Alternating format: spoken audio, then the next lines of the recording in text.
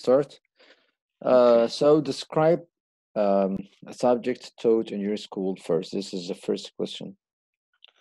Okay, uh, I would like to to talk about the science subject, Mhm. especially the space uh, science. Uh, uh, the space science has been taught by my favorite teacher, uh, Mr. Hani. Um, he is a very very smart uh, teacher. Mhm, He used to learn us uh, the science of space. Uh, he he like uh, he teaches our, our class like an, an ordinary class, uh, just uh, showing the subject by the uh, books. But the beautiful side from this, uh, after he learned us by books, he he's uh, he like give us some experience how about the practical uh, learning. He shows us. Uh, how the universe is big by pictures. He shows uh, our university uh, images, which uh, which is a beautiful universe uh, galaxy. mhm, Also, he accompanying us uh, with my colleagues to the school library. Um, there is some amazing videos talking about the universe, the planets, and uh, uh, moons, mhm. So I think it's uh, not only learning us by, by the usual way, but he used the interacting way, which is uh, make some enhancement to my passion about the space. mhm.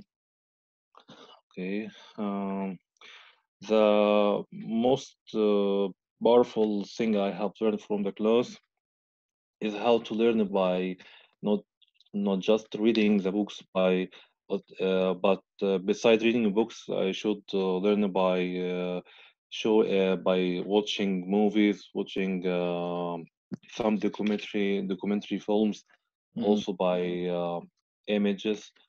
And also I think uh, by, not only in Egypt but outside the learning uh, student by by observing by itself, like using telescope to observing the the planet itself in the real world, not only videos or images.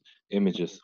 mhm, So also he gave me some uh, some benefit uh, of uh, learning how to search for the object. He used to learn us how it, uh, how to search on the internet.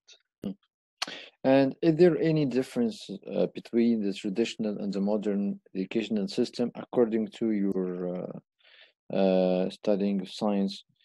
Is there any difference between these both techniques? Okay, from my point of view, uh, there is a huge difference between both uh, systems. The traditional system, um, uh, it's it's like uh, stick to uh, the class uh, only the governmental books, and that's it. Just give uh, take all the information by teacher by the just only explaining uh, what inside the books. That's all. But the modern way, it's more more uh, better than than that. mhm, It's uh, using all the material and all the tools for making some interaction between the what you have learned and how it's a practical uh, life. Uh, so I think uh, there is a huge gap. So I think I prefer the modern one. And do you think it's necessary to give a comment or criticism to teachers? Okay. Uh, to be frank, I think it should, uh, but not not uh, a direct comment. It should be like uh, what's called this 360 degree uh, evaluation. It Mhm, should be evaluation for the teacher and also for the students. mhm, So it's like a cycle. Uh, the teacher uh, show comments about uh, the student, their student. Uh, uh, also, they, they should be some right for the student to uh, to give some comments about the teacher mhm, because we are all humans, human beings. So mhm, any any one side can be make mistakes or or something like that. mhm.